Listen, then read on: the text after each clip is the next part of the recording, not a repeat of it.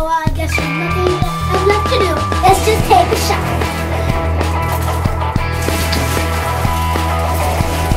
I'm